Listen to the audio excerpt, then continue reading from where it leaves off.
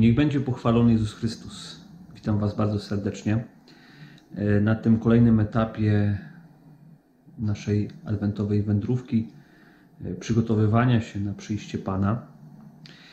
E, kochani, dzisiejsza Ewangelia jest przepiękna. Pokazuje nam po pierwsze działanie Pana Boga, który jest zawsze gotowy, żeby przebaczać nam nasze grzechy. E, po drugie, determinację człowieka, który szuka Boga.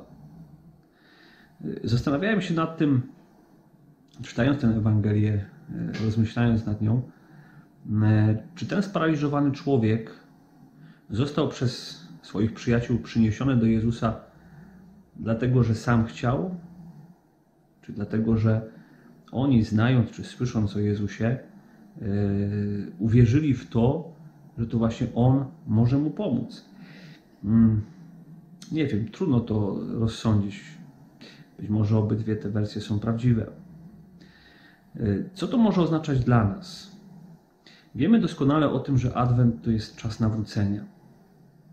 To nie jest tylko jakieś tam radosne, beztroskie oczekiwanie na przyjście Pana.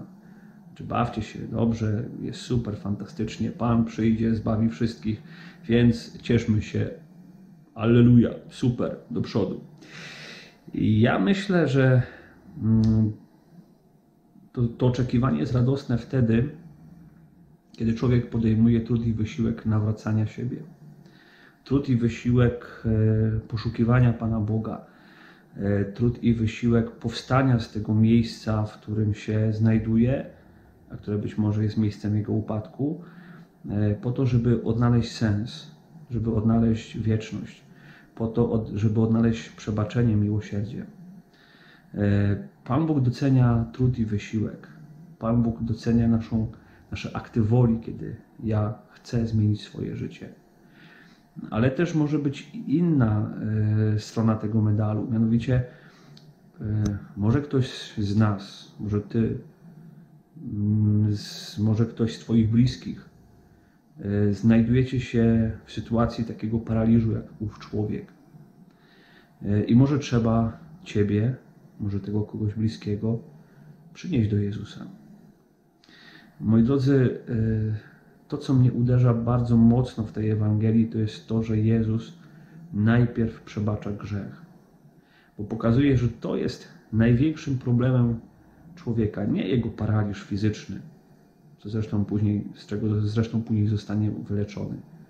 Ale jego największym paraliżem jest grzech. Dlatego Jezus mówi: odpuszczają ci się Twoje grzechy. E, zadanie na ten adwent. Może trzeba by kogoś przynieść do Jezusa. Może jest w Twoim otoczeniu, w Twoim środowisku, w Twojej rodzinie ktoś, kto jest sparaliżowany przez zło, przez grzech. Może on sam nie ma siły i mocy do tego, żeby do tego Jezusa przyjść. Może się boi. Więc e, może warto go wziąć na plecy i przytaszczyć przed oblicze Jezusa, po to, żeby on go uzdrowił, żeby on mu przebaczył ten grzech i wyprowadził z tej niewoli. A może to ty sam jesteś tak, takim sparaliżowanym człowiekiem. Może warto, żebyś poprosił kogoś z bliskich, aby Cię zaniósł do Jezusa, bo sam nie odnajdujesz w sobie siły i mocy. E, myślę, że to jest bardzo ważne zadanie, bo my w drodze do Pana Boga nie jesteśmy sami, nie możemy iść samotnie, indywidualnie, ale zawsze idziemy we wspólnocie, zawsze idziemy z innymi.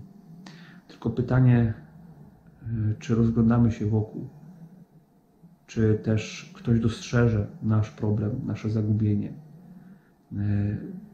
nie wiem, zapytaj siebie, rozejrzyj się wokół. E, jeżeli potrzebujesz pomocy, wołaj. Jeżeli jest taka potrzeba, gdzieś w opisie tego filmu napisz, że potrzebujesz takiej modlitwy, takiego wsparcia, takiej pomocy.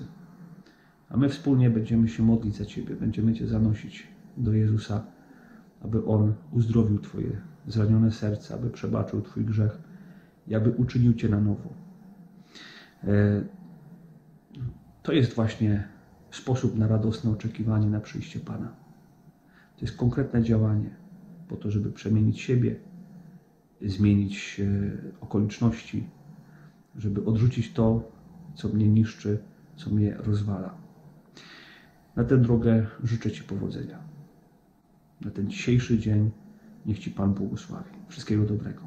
Szczęść Boże.